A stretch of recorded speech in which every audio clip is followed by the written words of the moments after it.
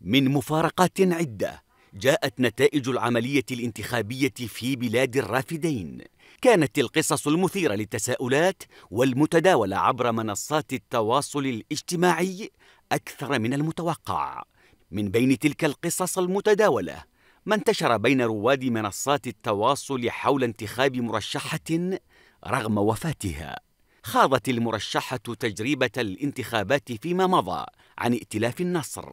ولكنها شاركت مرة أخرى في انتخابات 2021 كمرشحة مستقلة لكن لم تمهلها الوفاة فوافتها المنية قبل شهرين من موعد اقتراع تشرين.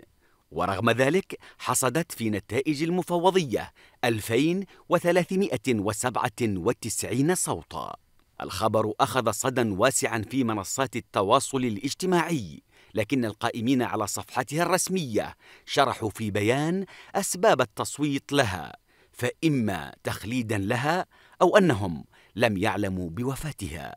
في الحالتين رحلت المستقلة عن المكون المسيحي لكنها وثقت وجودها في تاريخ استحقاق التشرين.